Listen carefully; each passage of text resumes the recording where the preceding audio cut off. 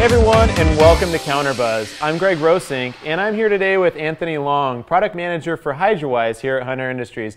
Thanks for joining us again, Anthony. No, thanks, Greg. Thanks for having me. It's good to have you back. Today, we're going to talk about water management with Hydrawise. So, tell us a little bit about how water management ties into Hydrawise. Sure. So, uh, Hydro Hydrawise is a water management tool. Um, it's used by lots of uh, uh, different organisations to manage water. It's particularly useful if you've got multiple sites. So uh, if you've got uh, different schools or different uh, parks, it's really handy for managing all those as one, all those sites as one big site. So. Okay, and who's using Hydrawise as a water management tool? Yeah, so typically what we see is it's water boards, water districts, schools, um, large landscape maintenance companies, and also local government managing all the pocket parks and, and schools and things like that. So we see lots of different government entities and, and, and landscape management companies utilising Hydrawise purely as a water management tool. So.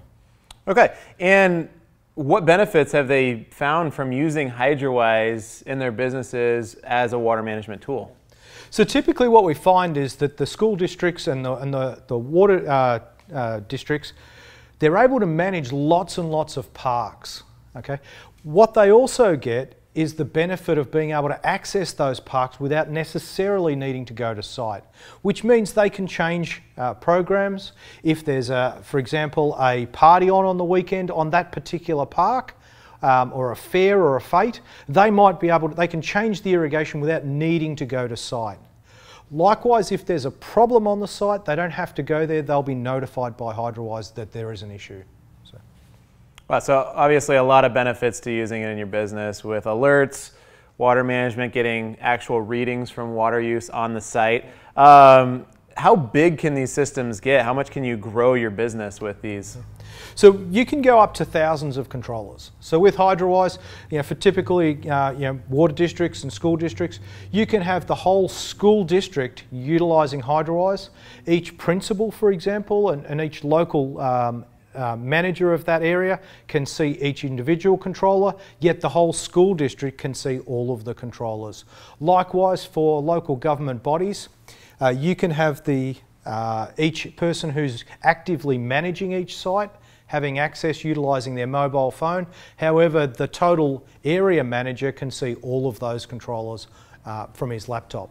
So that's a, um, a, really big thing from a, water management point of view. So size is not one of those things we need to worry about with Hydrawise. We can scale up as much as we like. So. Okay, wonderful. And so our customers are probably wondering, you know, do you have success stories or any case studies, maybe some examples where water managers have really successfully done this? Yeah. So uh, I'll, I'll, go through a couple. Um, so we've got a, uh, a school district, uh, and that school district has been able to uh, take all of their previous controllers, which were they had a, a, fair mix of different brands and, and models of controller. They've been able to change all of those controllers to Hydrawise. Um, they've connected them all up to the system. And they found a couple of things. Firstly, the principal and the person who's mowing the lawns at those school districts, at those schools, can actually manage the irrigation and keep an eye on it. Make sure that the, the, the sprinklers don't come on that morning um, that they're going to mow. But also overall, the maintenance crew that's managing all of the irrigation systems also has access. And the manager of that um, school district, he also can see all of the things. And we've found a couple of key, real key things that stick out in that particular project. One is the irrigation program is being changed every day to suit um, the irrigation cycle and the local weather. And that's been able to save quite significant amounts of water. Um, also, all of the team players who have access to that site or use that site can all get their own reports coming in. So, you know, the, the person in charge of um, electrical, he can see the electrical alerts. The person in charge of sprinklers, he can see the water alerts based from the flow meter. So we've seen lots of benefits with that particular company. Uh, we've also uh, got a school, uh, sorry, a um, uh, local government in Australia. Um, that local government uh, is one of the largest local governments uh, in the world.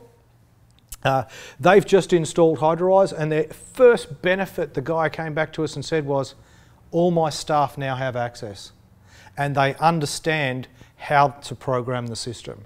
And he said, We've never had that before. But at any point in time, any of my guys can go in and program the controller. And he saw that as a really big benefit for his guys because it took a whole lot of pressure off him. He no longer has to drive out to each site to change a program. Any of his team can actually access that and, and understand what's happening out on each local site. A huge benefit in this, obviously. Yeah. Now, for our customers, what kind of water savings are we seeing from this type of water management? Yeah, so typically um, across the board, Hydrawise sees uh, about 53.5% of water savings. Um, that's uh, across more than 130 countries around the world. Um, uh, and all of our customers over the last three years. But typically in school districts, what we find is we can tend to get a little bit more. What we've found is that school districts um, and, and local government bodies just don't change their programs very often. So they tend to set their program for the start of the season and leave it operating until the end of the season.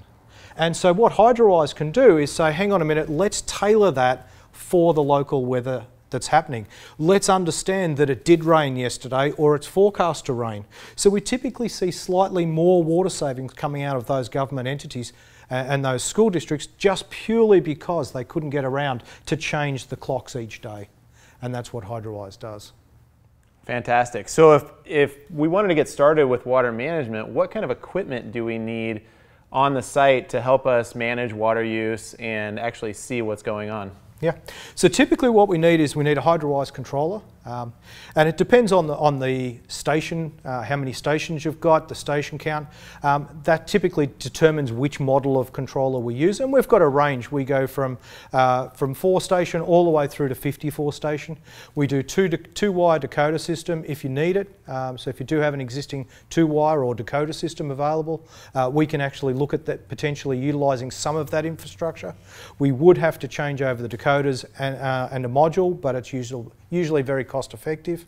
Um, we also look at uh, putting in a flow meter in. It's really important with those um, school districts and with um, uh, government entities that we understand how much water we're using. Mm -hmm. And so a flow meter really helps on the, uh, if we can install a flow meter.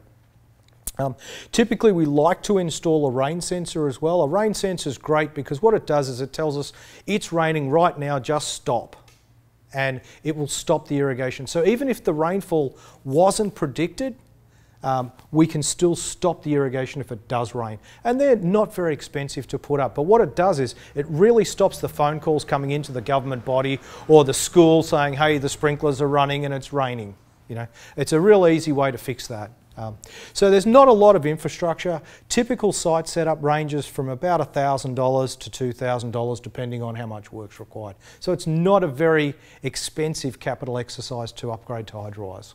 Okay, and I know some states and county governments are starting to require things like a rain sensor to eliminate those phone calls, but eliminate the waste of water that could come from irrigating during a rain cycle. Yeah. So looking at local restrictions and things like that, it may guide you in that direction as well. Absolutely.